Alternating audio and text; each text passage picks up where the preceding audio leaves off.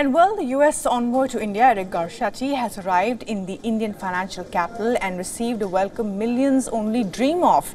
The Indian superstar and global icon Shah Rukh Khan hosted the Washington envoy at his Bandra residence, Mannat.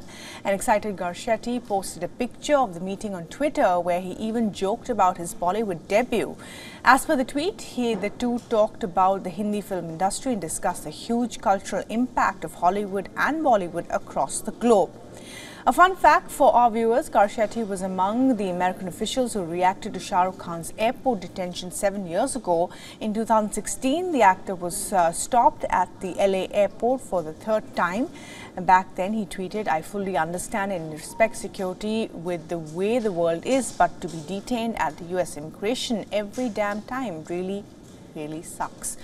Uh, the then mayor of Los Angeles apologized for the inconvenience and while applauding Khan's work as an inspiration for millions.